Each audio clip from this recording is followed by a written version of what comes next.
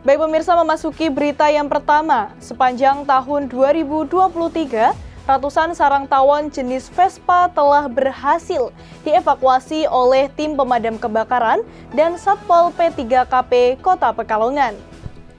Keberadaan tawon Vespa afinis atau yang lebih dikenal tawon Vespa yang menggantung di atap rumah masih banyak terjadi di Pekalongan.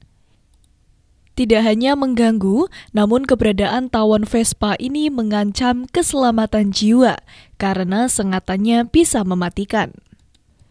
Tercatat di sepanjang tahun 2023 lalu, ratusan sarang tawon jenis Vespa ini telah berhasil dievakuasi oleh tim pemadam kebakaran Satpol P3KP Kota Pekalongan.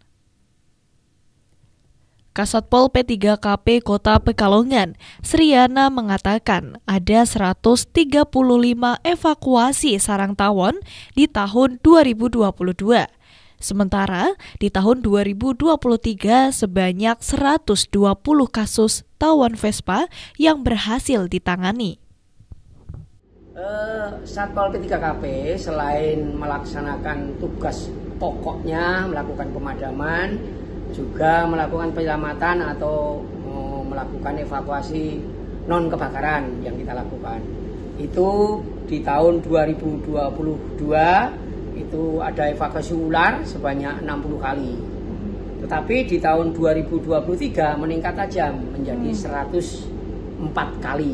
Ini, ini ternyata banyak ular di tahun 2023. Kemudian selain evakuasi ular juga ada evakuasi tawon di tahun 2022 135 kali tetapi menurun di tahun 2023 sebanyak 120 kali. Masyarakat yang mendapati adanya sarang tawon dihimbau untuk tidak melakukan evakuasi secara mandiri, namun bisa segera menghubungi pemadam kebakaran setempat.